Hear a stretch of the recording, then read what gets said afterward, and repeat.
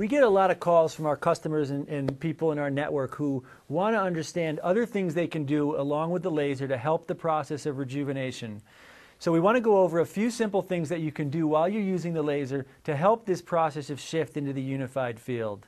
For one, diet. Diet's really important. What you put in your body will literally affect the cells and the experience that you're having as a, as a physical uh, human being.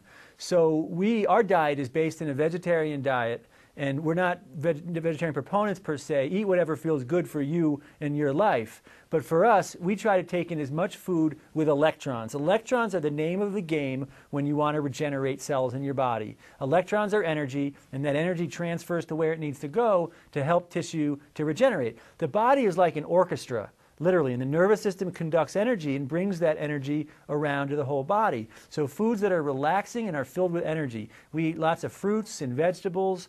We eat lots of food with higher spinning electron. There's a fascinating new amount of research coming out in the area of monoatomics and more alchemical foods.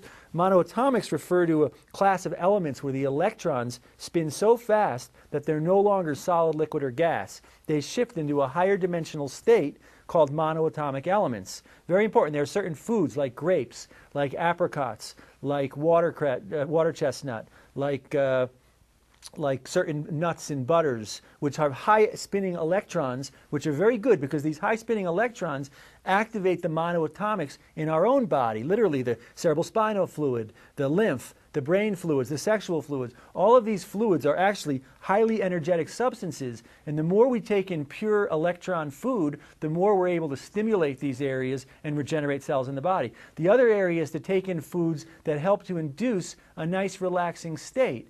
So things like aloe vera, I drink a ton of aloe vera. I drink it like it's water because it has very high amounts of rhodium and iridium, which are monoatomic elements. They actually activate the glands in the brain. They activate the subtle energies in the body. Remember, it's all alchemy. In the old age, people ate food to, to give energy to the body. The new shift in the unified field is about taking in foods to enhance our subtle body, to enhance the alchemy of our experience here in consciousness. And so you want to take in foods that are not too dense. Coarse, dense foods translate to energy being coarse and dense. Subtle or more refined foods translate, the, you know, the protein myth is sort of a big myth out there. Everyone says you need all this protein. Look at what industries are giving you that information. It's the dairy industry, it's the, it's the, uh, it's the, the beef industry, the cattle industry. These folks want you, us to believe that we need a lot of protein because they make a lot of money when we end up buying those products. The reality is we don't need nearly as much protein as they're saying, and you get plenty of protein from fruits,